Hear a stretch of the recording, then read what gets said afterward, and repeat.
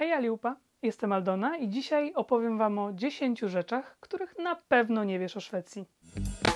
Jag vill veta vad du tänker när du står där på toppen och tittar ner. Låt mig höra vad du känner. Är det så att hela kroppen vill ge?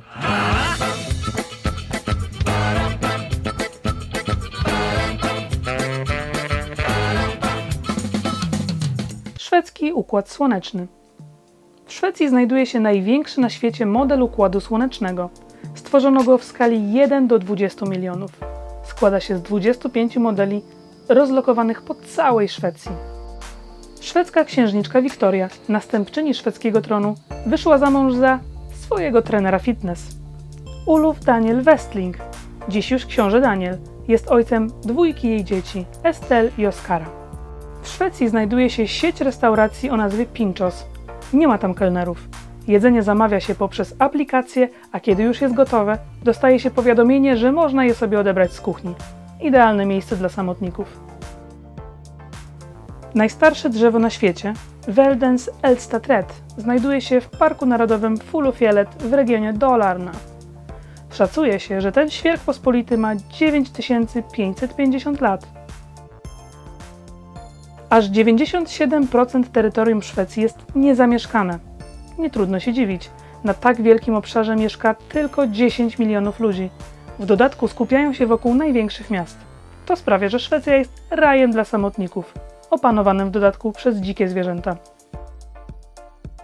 Zorzę polarną można zaobserwować już w drugiej połowie sierpnia. Oczywiście trzeba pojechać najdalej jak to możliwe na północ. Podobno też w Parku Narodowym Abisko zorzę polarną można zobaczyć przez cały rok. W Sztokholmie znajduje się winiarnia z prawdziwego zdarzenia. Raz w roku do The Winery Hotel przyjeżdżają winogrona prosto z winiarni Terreno w Toskanii.